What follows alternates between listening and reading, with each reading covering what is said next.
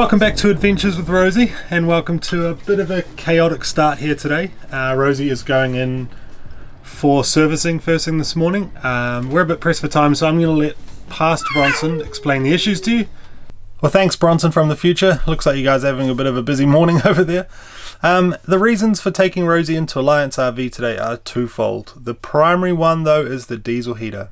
Um, so our Main means of heating our Rosy is our diesel heater, Eberspacher 2.2 kilowatt heater. Really great heater, um, quite quiet, fuel efficient when it works. Um, and yeah, it, has been problematic in the last year. When it works, it's awesome. Um, basically, if you cast your minds all the way back to the first episode, uh, when we took this caravan out, uh, the heater, I don't know if it was installed funny, but the fuel line from the heater came from the front of the caravan and it went around the exhaust pipe and into the heater. So we went away for the first night. It was pretty cold. We turned it on and it melted through the um, through the fuel line and was just dripping fuel on the ground. So I had a bit of a crash course in the middle of the night on how these heaters work and um, error codes and that sort of thing.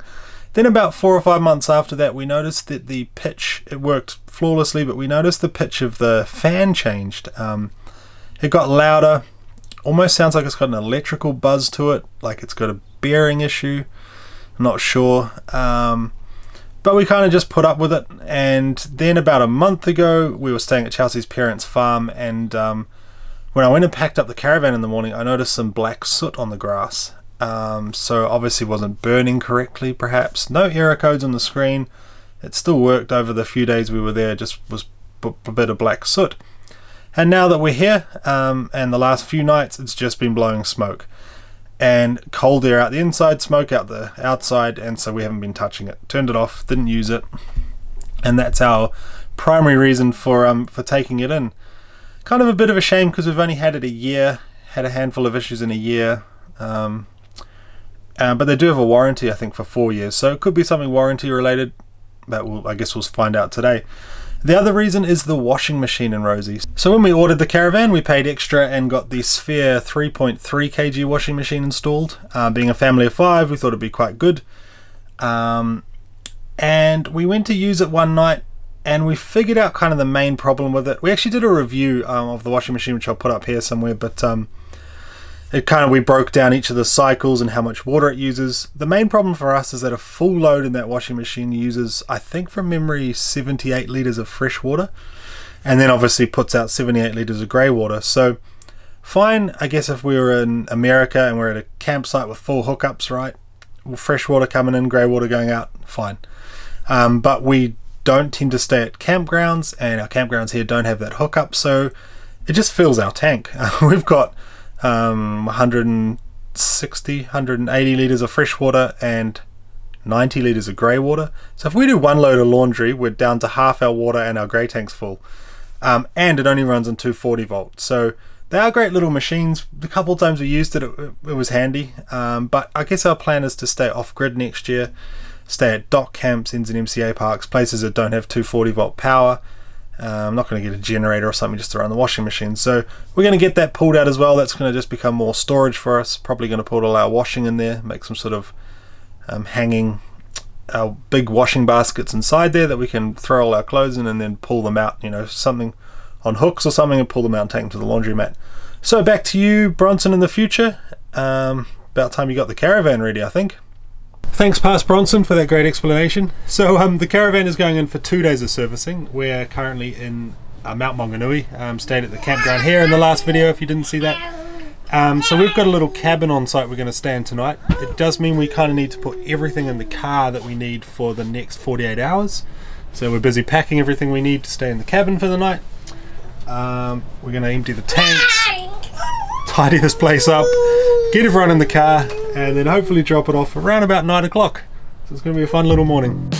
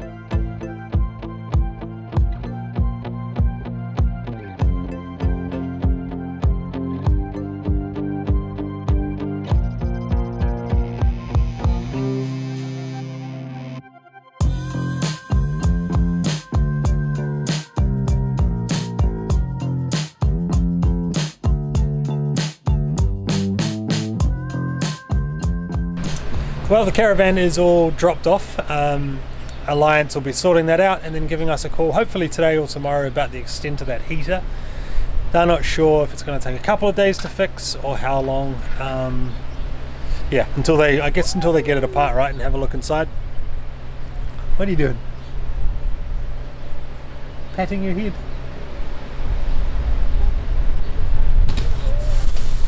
So we are caravanless for the next few days. Um, we've got a little uh, cabin here at the same campground we're at. Um, so we stayed just over there and we've just got a cabin up the hill now. So we're hoping it'll just be the one night and then uh, picking the caravan up tomorrow because I have work on Wednesday. Today's Monday.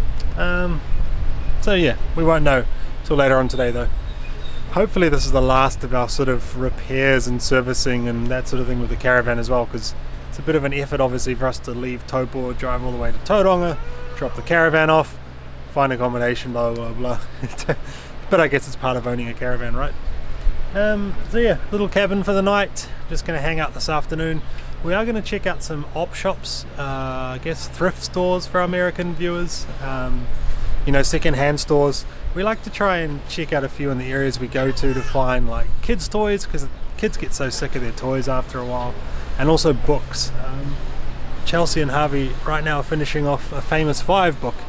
Harvey's been big into the Famous Five, so I dug up some of my old books from when I was, you know, a teenager, I guess, and uh, he's been reading them with Chelsea, which is quite cool. So we're going to chill out for a bit, and then I think we'll head into town and hit up a few op shops. I'm just around there. I'm hi. I'm Harvey. I'm just around here. But this is our friends. That's the tail. That's my butt. That's not a book. And that's when there on safe and that's the table and that's the we need. And where are Mummy and Daddy going to sleep? And that's bedroom. That's bedroom. You what I'm? And where are you going to sleep? You us. sit in the top bed.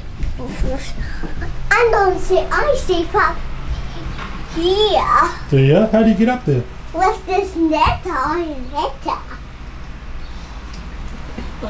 Thanks for my tour. Punch.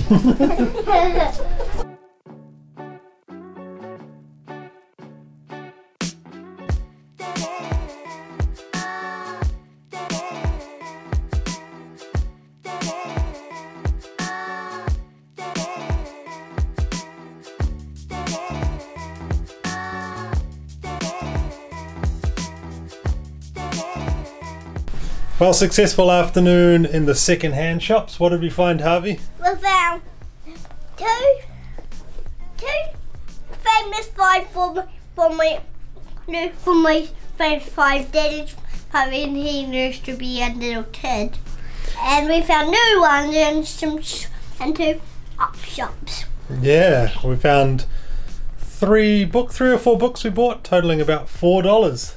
Winner, winner. Um, one cool thing actually I didn't show you at the some of those NZMCA parks we've been staying at is they have like a free book library. So you drop off like an old paperback and pick one up, which is kind of cool. So um, I've been picking up just random books from uh, those parks when we stay there and dropping off random ones when we go back. But pretty stoked we found some more famous five ones for the collection.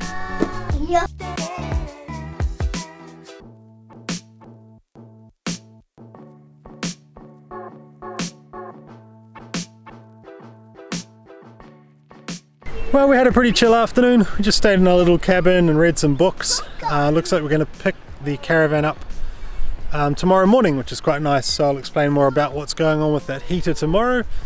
Um, yeah, we just hung out, read some books, and um, yeah, had some dinner, just chilled out, which was quite nice. Um, this weather is like been kind of on and off rainy, cold, windy. Um, kind of funny because before we left, um, it was like the whole week leading up to this weekend was like really hot and summery. And uh, Harvey got sunburnt one day it was that hot and uh, the girls played out under the hose and the sprinkler and that sort of thing. So we thought oh yeah hopefully it'll be like that when we're at the Mount Maunganui you know and at the beach. But uh, hasn't been like that at all. But we'll make the most of it eh? Because I guess that's part of being out and about in this sort of lifestyle isn't it? That uh, you're not always going to get perfect weather. Um, so we've rugged up now. Harvey and I are going to run around before he goes to bed See if we can get rid of that last 10% of his energy and um, explore the campground a bit. It's kind of cleared out a lot here because uh, school holidays is finished. This is the Monday after school holidays now, Monday night. So um, yeah, nice and quiet. I've lost Harvey, so I'm going to go and find him.